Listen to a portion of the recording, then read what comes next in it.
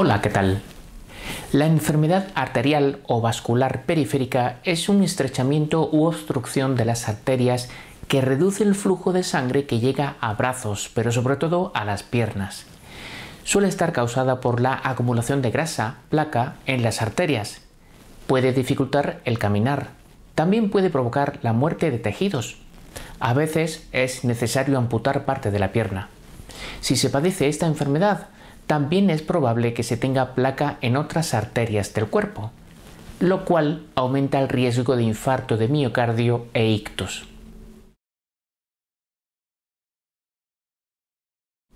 La causa más frecuente de la arteriopatía periférica es la acumulación de placa en el interior de las arterias, incluidas o sobre todo las que llevan sangre a las piernas. Estos depósitos obstruyen el flujo sanguíneo, por lo que los tejidos que dependen de él quedan faltos de oxígeno y nutrientes.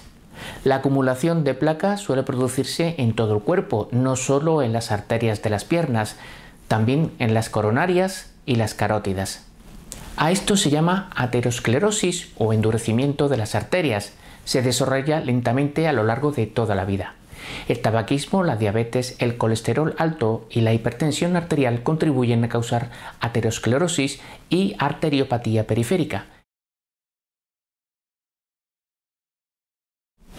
Además de los factores mencionados, el tabaco, la diabetes, el colesterol alto y la hipertensión arterial contribuyen a elevar el riesgo de arteriopatía periférica, no realizar actividad física con regularidad y tener antecedentes familiares de aterosclerosis o enfermedad coronaria. Por otra parte, el riesgo de padecer esta enfermedad aumenta con la edad. Y desde luego, las personas que padecen la enfermedad en alguna parte del cuerpo tienen más probabilidades de padecerla en otras partes, sobre todo en las piernas. El primer paso debería ser, si procede, intentar reducir todo lo posible la inhalación de nicotina, o sea, fumar o vapear. Dejar de fumar activa y pasivamente es una de las mejores cosas que se pueden hacer para prevenir esta dolencia y muchas otras. El segundo paso debería ser seguir una dieta cardiosaludable que incluya verduras, frutas, frutos secos, legumbres, carne magra, pescado y cereales integrales. Y limitar el consumo de alcohol, sodio y azúcar. Lo siguiente es tratar de ejercitarse con regularidad. Conviene hacerlo durante unos 30 minutos la mayoría de los días de la semana. Se puede caminar, nadar, montar en bicicleta o realizar otras actividades comparables. Es buena idea que el médico asesore sobre el nivel de ejercicio adecuado. Por cierto, el ejercicio será de gran ayuda para mantener un peso saludable. También el médico puede ser de ayuda si hace falta normalizar el peso. Viene bien dormir entre 7 y 9 horas cada noche. Y por último, pero no por ello menos importante, hay que controlar otros problemas de salud, como la diabetes, la hipertensión y el colesterol alto. Si el alcohol u otras drogas son un problema, habrá que pedir ayuda al médico. Muchas personas no presentan síntomas, pero los síntomas pueden incluir piernas débiles o cansadas o problemas para caminar o mantener el equilibrio. Al andar se puede presentar un dolor opresivo en la pantorrilla, el muslo o la nalga. Este dolor se denomina claudicación intermitente. Suele aparecer después de caminar una cierta distancia. El dolor suele desaparecer al dejar de caminar. De ello hemos hablado aquí. Si la arteriopatía periférica empeora, pueden aparecer otros síntomas derivados de un flujo sanguíneo deficiente en piernas y pies. Dedos fríos, hormigueo, llagas que tardan en curarse o dolor en las piernas o los pies incluso en reposo. La piel de las piernas o los pies puede cambiar de color. Puede ser pálida, azulada o violácea. También puede tener un aspecto brillante o ampollas. Hay que buscar atención médica inmediata si el dolor en la pierna no desaparece ni en reposo. El dolor de piernas cambia o empeora. Por ejemplo, si se siente más dolor con la actividad normal o el mismo dolor con menos ejercicio. Los pies o los dedos están fríos, con hormigueo, débiles o entumecidos. Hay llagas en las piernas o los pies que tardan en curarse. La piel de las piernas o los pies cambia de color. Puede estar pálida, azulada o morada. La piel de las piernas o los pies presenta ampollas o tiene un aspecto brillante. Hay una úlcera abierta en la pierna o el pie que está infectada. El médico preguntará sobre los síntomas y la salud y hará un examen físico. Tomará el pulso y la tensión arterial en distintas zonas del cuerpo, como la ingle, detrás de la rodilla, en la cara interna del tobillo y la parte superior del pie. La ausencia o debilidad de pulso en estos puntos es un signo de arteriopatía periférica. También puede tomar el pulso en la muñeca, el antebrazo o el cuello. Asimismo, es posible que examine la piel de las piernas y los pies para detectar cambios achacables a un flujo sanguíneo deficiente, como ampollas, piel brillante o cambios en el color. Las pruebas que pueden realizarse para confirmar la arteriopatía periférica son las siguientes. Prueba del índice tobillo-brazo. Comprueba el flujo sanguíneo comparando la presión arterial en los tobillos y los brazos. Ecografía Doppler, que se usa para medir el flujo sanguíneo en las arterias.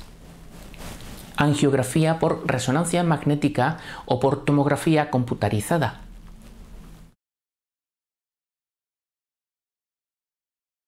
El tratamiento de la arteriopatía periférica puede aliviar los síntomas, ralentizar el avance de la enfermedad y reducir el riesgo de infarto de miocardio e ictus. Las opciones de tratamiento incluyen un estilo de vida cardiosaludable, un programa de ejercicio especializado y medicamentos. Algunas personas también se someten a una intervención quirúrgica o a un procedimiento denominado angioplastia para mejorar el flujo sanguíneo.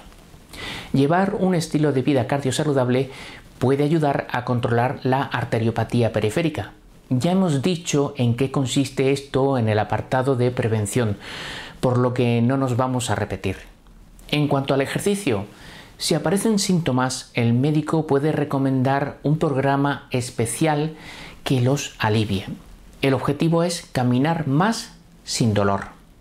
Es probable que prescriban medicamentos para reducir el riesgo de infarto de miocardio e ictus. Por ejemplo, aquellos que previenen la formación de coágulos, mejoran el colesterol o reducen la tensión arterial.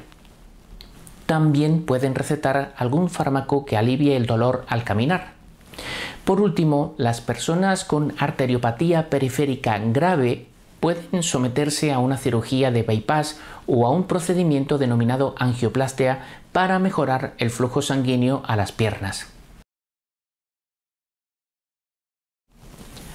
Aparte de lo dicho en el apartado de prevención, añadimos aquí más recomendaciones. Evitar infecciones respiratorias. A esto contribuyen las vacunas correspondientes.